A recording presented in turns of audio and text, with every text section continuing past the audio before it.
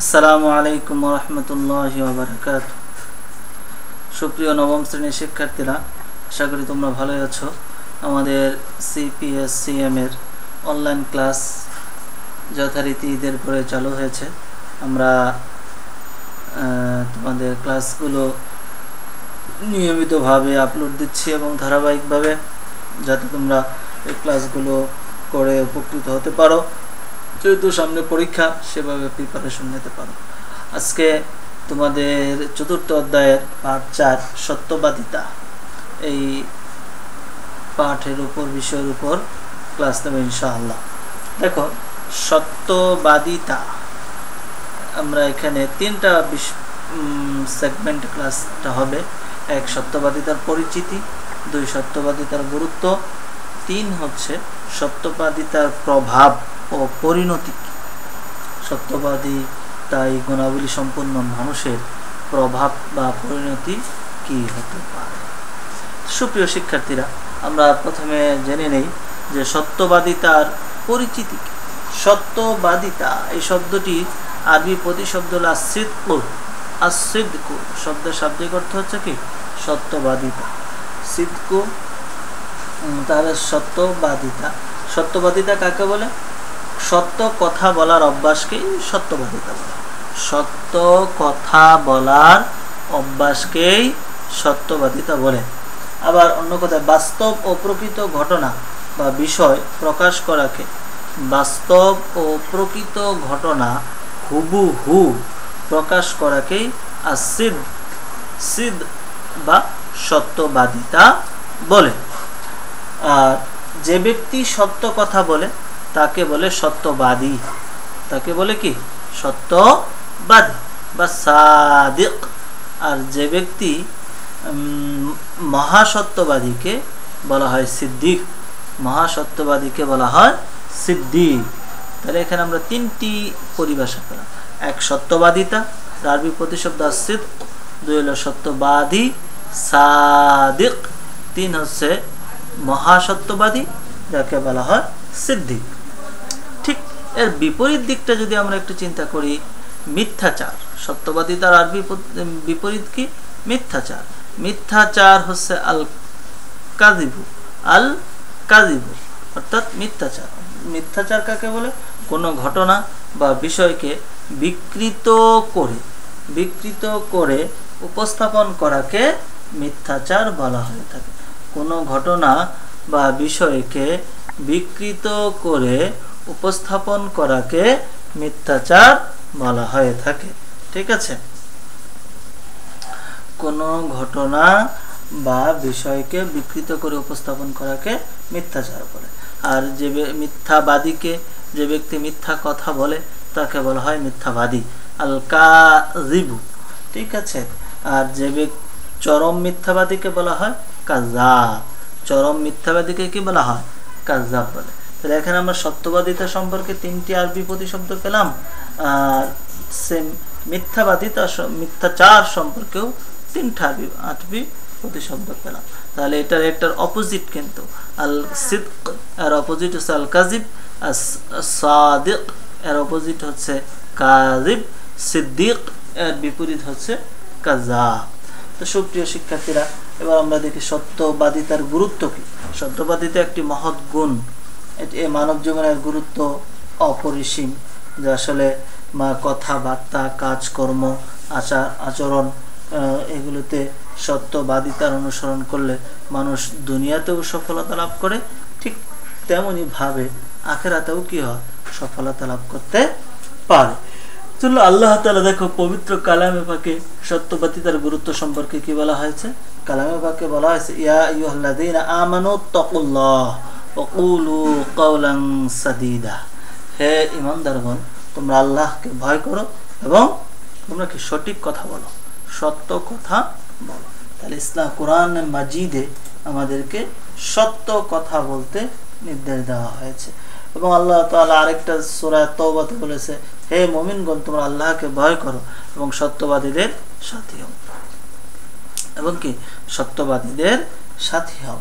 তারপরে আরেকটা হাদিস রাসুল সাল্লাহ আলাইসাল্লাম আরও অনেক কিছু সত্যবাদিতা সম্পর্কে বলেছেন। মহানবী সাল্লাহ আলাইসাল্লাম সত্যবাদিতার মূর্ত প্রতীক ছিলেন। সত্যবাদিতা, দেখো, এর গুরুত্ব, সত্যবাদিতা পুরস্কার রয়েছে। আল্লাহ তারপর আমরা বলছি এর প্রভাবের ভিতরে। তাই আমরা গুরুত্বের ক্ষেত্রে আমরা এটি সত্য কথা বলা এটাই মমিনের লক্ষণ মেমানদারের বৈশিষ্ট্য, সত্য কথা বলার নির্দেশ দিয়েছেন আল্লাহ তালা আর পক্ষান্তরে মিথ্যা কথা বলা এটা মুনাফিকের লক্ষণ। মিথ্যা কথা বলা কি? মুনাফিকের লক্ষণ। আর মিথ্যাকে সকল পাপের মূল বলা হয়েছে। যেখানেই সত্য বলা হবে না, সেখানেই তো মিথ্যা হবে। ঠিক না? যে কথাটি সত্য বলা হবে না, তো যে ঘটনাটিকেই হুবহু উপস্থাপিত করা, উপস্থাপন করা হবে না, সেই ঘটনাটি তো মিথ্যা হবে। তো মিথ্যা বলা হয়েছে সকল পাপের মন তাহলে আমরা দেখি এর প্রভাব বা পরিণতি সম্পর্কে মহানবী সাল্লামের এই সত্যবাদিতা সম্পর্কে একটি গুরুত্বপূর্ণ হাদিস এটা আমাদের সকলের পরিচিত যে এক ব্যক্তি এসে মহানবী সাল্লামকে বলল আল্লাহ আমি অনেকগুলো খারাপ কাজ করি। এবং আমি মিথ্যা কথা বলি, আমি চুরি করি, ডাকাতি করি, অন্যের সম্পদ লুণ্ঠন করি, আমি ভালো হতে চাই। আমি সব পাপ একসাথে ছাড়তে পারব না। কোন পাপটি আগে ছাড়তে পারো? আগে আমি এক এক করে ছাড়তে। রসুল সাল্লাম তাকে বললেন, তুমি সত্য কথা বলবে।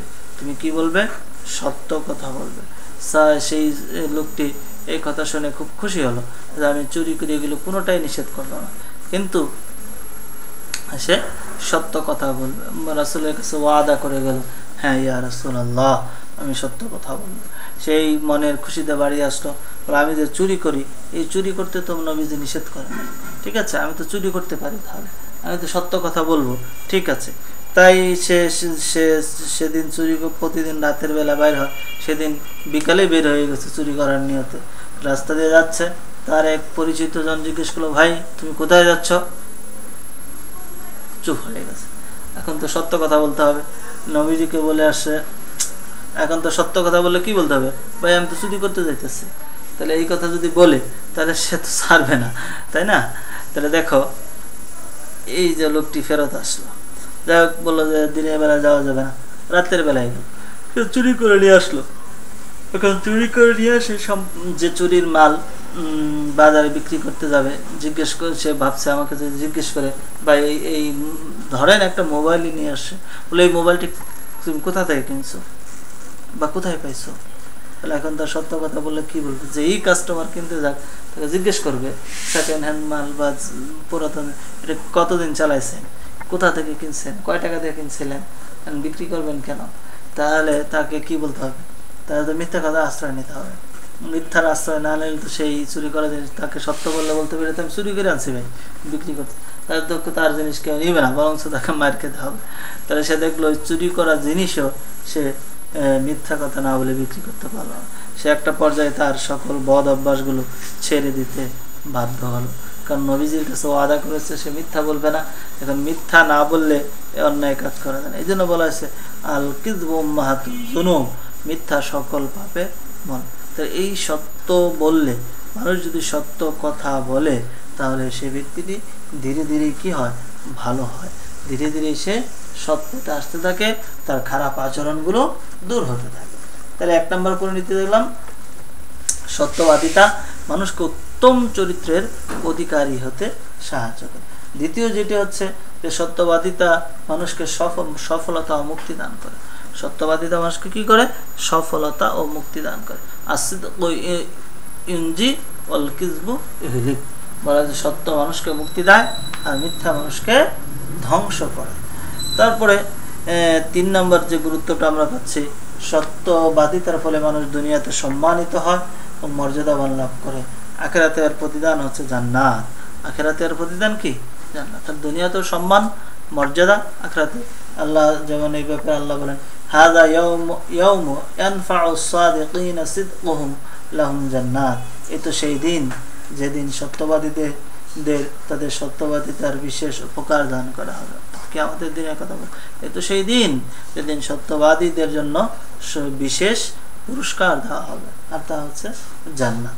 তো সুপ্রিয় শিক্ষার্থীরা, তোমরা দেখো, সত্যবাদিতার পুরস্কার আমরা কি পেলাম? দুনিয়াতেও সে মর্যাদাবান হবে সম্মানই হবে, আখারাতেও তার জন্য রয়েছে জান্নাত। তারপরে আমরা দেখি যে মানুষের তোমরা সত্যবাদী হও কারণ সত্য মানুষকে পুণ্যের পথে নিয়ে যায়, আর পুণ্য মানুষকে জান্নাতের পথে পরিচালিত ঠিক আছে? জান্না ঠিক আছে? তোমরা সত্য কথা বলো, সত্য মানুষকে পুণ্যের পথে নিয়ে যা আর পুণ্য মানুষকে জান্নাতে। পক্ষান্তর আবার বলা হয়েছে আল কিদবু এহাদি ইরা জনু জনুবে বলা হয়েছে মিথ্যা মানুষকে পাপের দিকে নিয়ে যা, ঠিক আছে? আর পাপ মানুষকে জাহান্নামের পথে নিয়ে যা। দেখো, আরেকটা আমরা হাদিসে পাই রাসুলসাল্লামকে জিজ্ঞাসা করা হলো যে, কি আমল করলে জান্নাতবাসী হওয়া যায়? কি আমল করলে জান্নাতবাসী হওয়া যায়? নবী বললেন, সত্য কথা বলো। তাহলে এই যে কতগুলো আমরা বৈশিষ্ট্য পেলাম, কথা পেলাম, যে জান্নাতবাসীদের আমল হচ্ছে চিহ্ন, হচ্ছে সত্য কথা বলা। যা সত্য যে গুরুত্বগুলো পেলাম, যে সেই চুরি লোকটি একটু রিভিউ করে নেই সত্যবাদিতার গুরুত্ব বা পরিণতি, সেই সেই সত্যবাদী তার সত্য কথা বলে আল্লাহর নির্দেশ। আল্লাহ তালা বলেছেন, সত্য কথা বলতে হবে।